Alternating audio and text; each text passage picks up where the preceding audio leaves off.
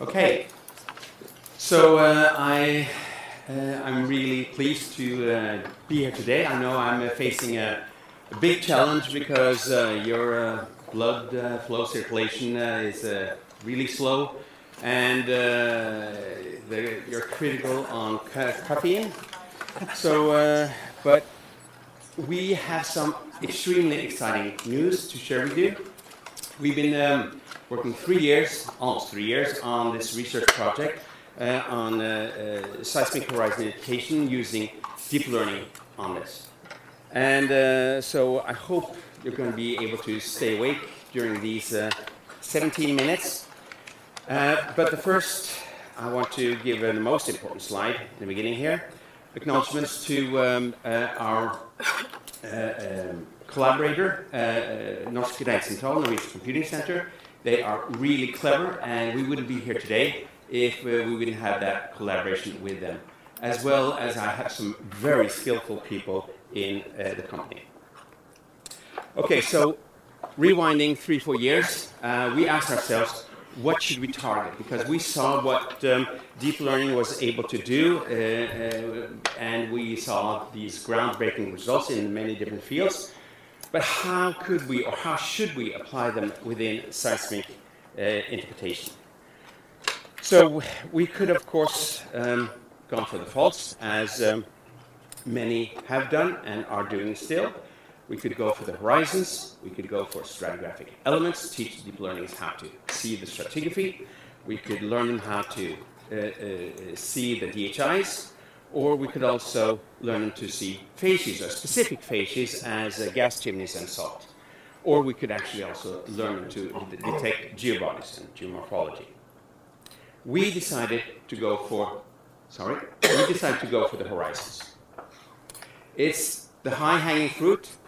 It's difficult to pick, but it tastes a lot sweeter.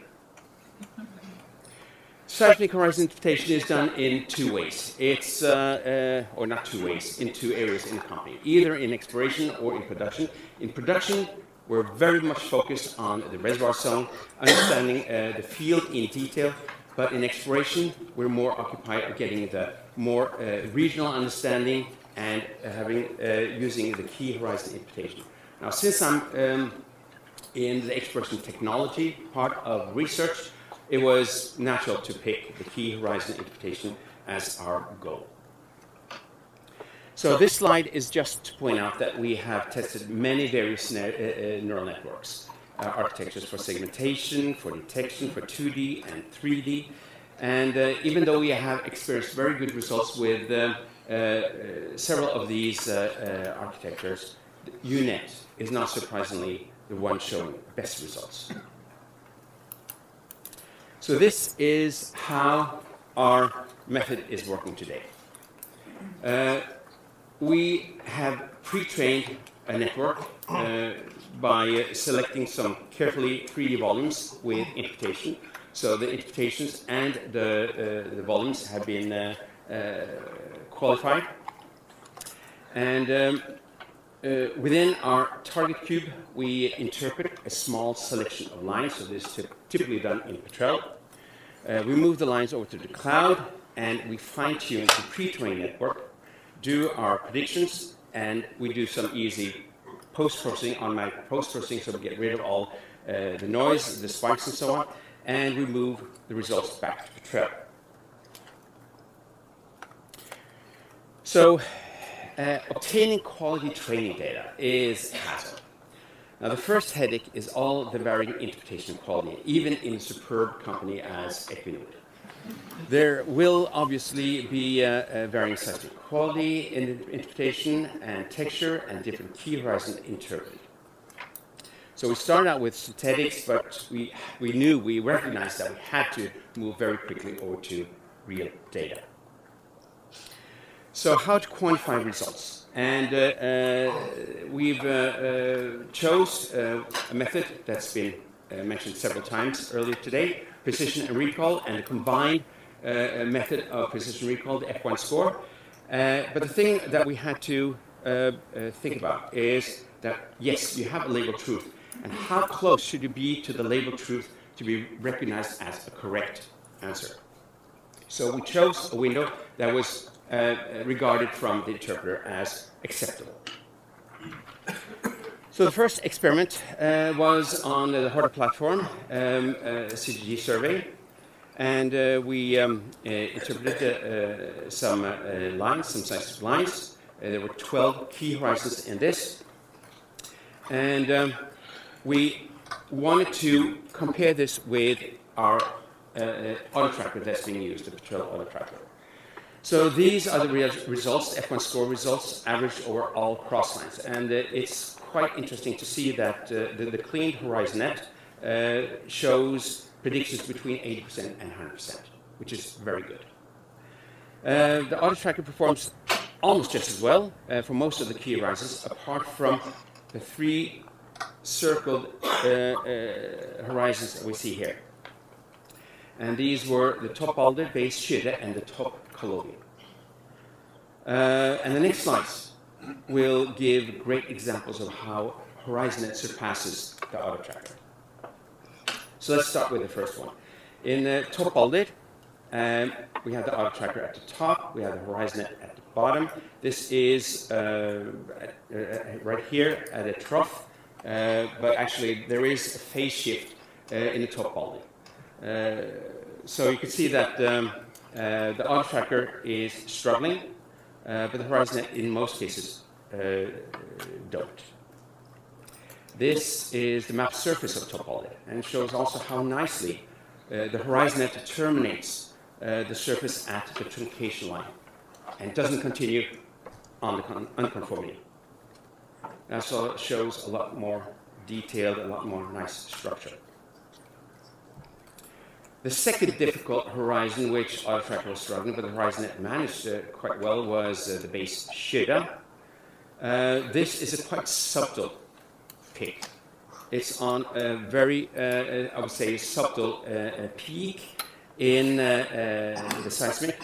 And it, as you can see, the AutoTracker, it, um, um, I would say, it, it, jumps down on a more stronger reflection at the first uh, uh, opportunity. this is um, the surface map for Beisheda, horizon to the left, object to the right. Um, so also here we see that the HorizonNet is actually has been learned how to uh, cope with uh, the truncation line.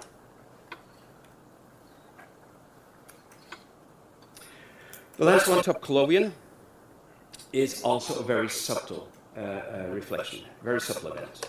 It's on a, a, peak that you can see maybe below this uh, strong event which the auto tracker has picked.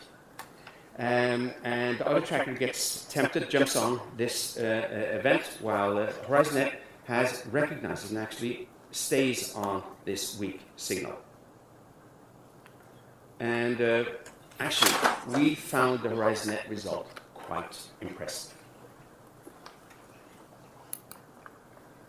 So the conclusions on this first experiment was that HorizonNet never failed in the test. It had an F1 score between 80 and 100%. Uh, the auto tracker failed on some of the uh, horizons, and also auto tracker struggled, of course, with uh, those uh, uh, horizons that had a phase shift.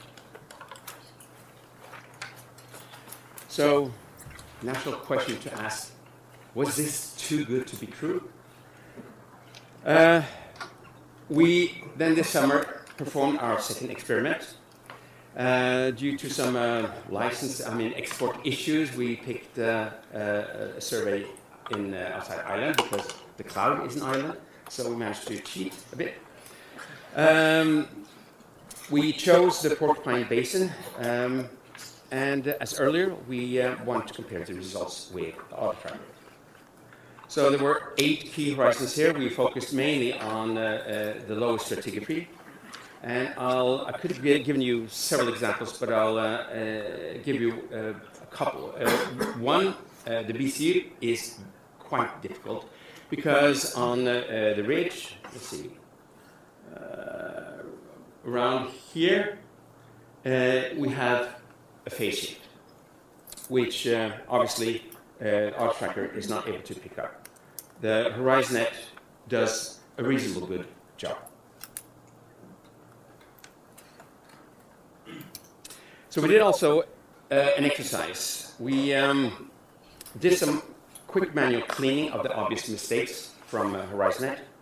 We made some info imitation and gridded the surface. So the result on the right here is from, uh, sorry, to the left is from uh, uh, the HorizonNet. Uh, and on the right, we actually have the asset's uh, official uh, interpretation. And it's quite interesting to see um, how HorizonNet has managed to capture all these structural details, and and it, it surprised the asset quite a lot. It's also important to point out that the asset they had used four days to do uh, the interpretation on right, while we actually in total used less than one day. If they had wanted to do the same accuracy, they would have, I, I could promise you, they would use a lot more than four days. But HorizonNet doesn't work everywhere. As in this case, basement is, um, is a very difficult pick. Um, and that's due to the depth, the seismic signal, and the changing expression. Uh, so the result from HorizonNet here to the left, it's doing a reasonable job where, we, where I've uh, circled in, but it really fails when it's too complex, uh, in, in, I would say, 75% of the area.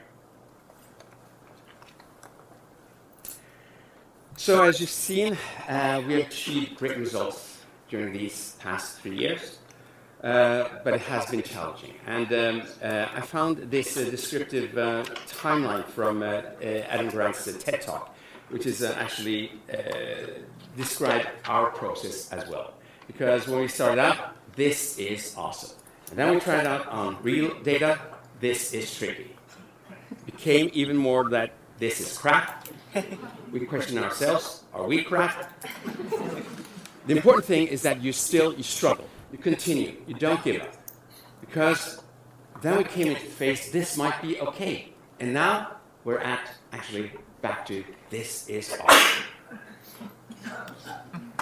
So the questions we have answered is that trained deep learning networks are able to perform quality seismic horizon interpretation. And the CNN HorizonNet based on UNet shows the best results. This deep learning uh, network performs better than automatic interpretation when horizons become subtle, discontinuous, or contains a polarity shift. Now, I also want to uh, uh, give this on the bar here. So, the easy horizons are being interpreted by the abstract, and the difficult ones by manual interpretation. Now, what we see the horizon that could be applied in is the area where uh, the horizons are subtle, and this could save the interpreter a lot of time. Our goal is to push that further towards complex horizons. So the future work is to test it out in um, other uh, geographical areas with different geology, and also we don't see any reason why it shouldn't work on 2D service as 3D. So that's going to be also part of our next, uh, next experiment. Of course, we're going to be searching for better or improved network models, and we need to improve also, or we want to improve the efficiency of these uh, uh, networks. And of course, the interpreter needs to have this on their button. So we need to integrate in a good way into the interpretation tools and workflow. So my last two slides are actually to to the community here because um, uh, John Thurman, a colleague of mine, and I, we, um, when we started on this, we uh, uh, identified that the uh, SAE, they had, had made a categorization for vehicles self-driving ability, ranking from level 0 to level 5. I'm not sure if you're aware of this. And this has been accepted throughout the whole autonomous, uh, sorry, automotive industry. The Teslas, Audi, and the Jags, you know, with these electronic cars, they are typically at level two. Actually, Elon Musk, he stated in April that we will be at level five in mid 2020. I don't believe that, but okay, I'm an you know, addicted Audi driver. now, John we said, why not? Why should we? Why shouldn't the industry have something similar? So we came up with the first version of the levels of seismic interpretation.